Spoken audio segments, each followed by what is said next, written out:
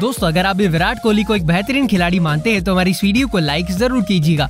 दोस्तों, भारत और इंग्लैंड के बीच खेली जा रही टेस्ट श्रृंखला में भारतीय टीम के कप्तान विराट कोहली और इंग्लैंड के तेज गेंदबाज जेम्स एंडरसन के बीच बड़ी ज़बरदस्त तकरार देखने को मिल रही थी। इस तकरार में अब तक जेम्स एंडरसन का पहाड़ विराट कोहली के मुकाबले काफ़ी ज़्यादा हावी रहा। लेकिन अब चौथे टेस्ट मुकाबले में विराट कोहली को एक बहुत ही बड़ी खुशखबरी मिलने वाली है। तो चलिए बताते हैं आपको क्या हो सकती है वो खुशखबरी। लेकिन उससे पहले आप सभी को क्या लगता है, रोहित शर्मा और विराट कोहली में से कौन बेहतरीन बल्लेबाज है? नीचे कमेंट सेक्शन में ज़रूर बताइएगा।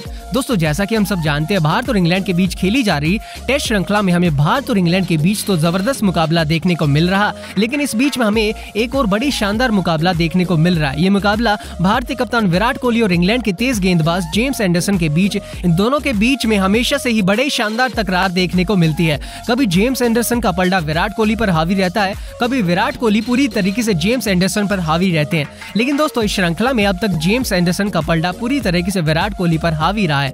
एक भी मुकाबले में विराट कोहली, जेम्स एंडरसन का डट कर सामना नहीं कर सके हैं। लेकिन दोस्तों, बता दें, भारत और इंग्लैंड के बीच खेली जा रही पाँच मैचों की टेस्ट सीरीज़ में पहले जेम्स एंडरसन और भारतीय कप्तान विराट कोहली के टक्कर ही हो रही थी। अब तक इंग्लिश तेज गेंदबाज इस टक्कर में भारी नज़र आए हैं। चौथे टेस्ट फैंस इन दोनों के बीच होने वाली मैदानी जंग शायद देखने को नहीं मिले। खबर है की वर्कलोड की वजह से इंग्लैंड अगले मैच में एंडरसन को आराम दे सकता है। दोस्तों, बता दें, इसकी कोई गारंटी नहीं की भारतीय कप्तान विराट कोहली और इंग्लैंड के तेज गेंदबाज जेम्स एंडरसन के बीच चौथे टेस्ट में भिड़त देखने को मिलेगी, क्योंकि मेजबान टीम एंडरसन को अगले मैच के लिए आराम दे सकती है। तीन सप्ताह के दौरान तीन टेस्ट मैच होने से दोनों टीमों के गेंदबाजों को रोटेट करने के लिए मजबूर होना पड़ रहा है। इंग्लैंड के मुख्य कोच क्रिस सिल्वरवुड ने एंडरसन और ओली रॉबिन्सन के कार्यभार पर कहा कि वो इन दोनों तेज गेंदबाजों को ब्रेक नहीं देना चाहते, क्योंकि अभी हमारे सामने काफ़ी क्रिकेट पड़ा है। टेस्ट मुकाबले अब तेज हो रहे हैं और लगातार मुकाबले होने से गेंदबाजों पर कार्यभार काफ़ी ज़्यादा बढ़ रहा है। लेकिन फिर भी ये खिलाड़ी अपना सर्वश्रेष्ठ प्रदर्शन देने में कोई कमी नहीं छोड़ रहे हैं। हर दिन जब मैदान से बाहर आते हैं तो हम सोचते हैं कि इनके लिए कुछ करें, लेकिन वो फ़िलहाल कोई फैसला नहीं ले पा रहे हैं। दोस्तों, एंडरसन ने हालाँकि स्पष्ट किया था कि वो टेस्ट सीरीज़ के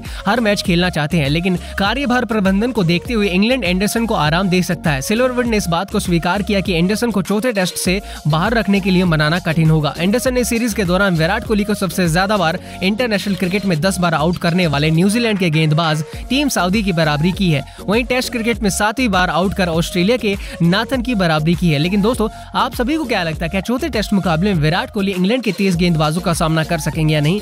नीचे कॉमेंट सेक्शन में ज़रूर बताइएगा। और ऐसी खबरों के लिए हमारे यूट्यूब चैनल को ज़रूर सब्सक्राइब कीजिएगा।